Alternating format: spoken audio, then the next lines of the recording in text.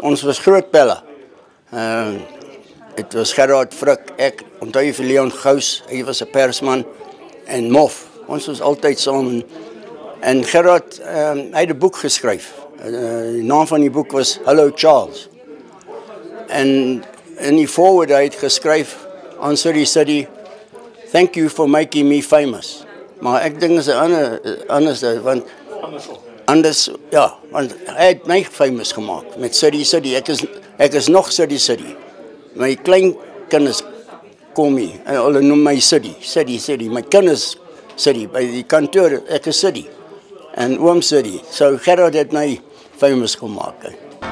En om die toets vir Suid-Afrika te beklink, 'n onderskep drie deur Sip Nomans.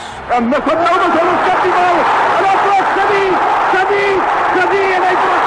Hulle het die bal gekry. Net buite hulle hulle het 25. Ek, ek dink dit was nog 25 in daai dae.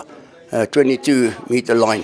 En ehm um, hulle uh, uh, beweging begin en die bal ehm uh, uitgegee na die vleuel toe.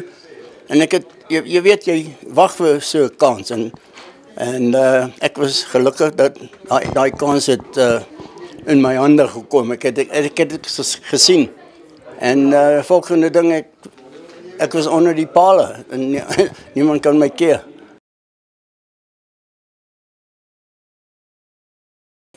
Coach moet die regte span kies. Dis al. Jy kan nie al uh, hierdie boys uh in 'n verkeerde posisie speel. Ehm um, ek ek voel baie jammer vir Piet Steff de Tooi want hy het nie goed gelyk op daai veld nie. Ehm um, Skrammal het hom twee keer geklop. En dit is hoekom ja, ons verdediging, ek weet nie daar's iets verkeerd en ek dink dit is net die verkeerde kiesing. Ja, ek wil ek wil 'n keer wees want ek weet ek het 'n span afgeskryf.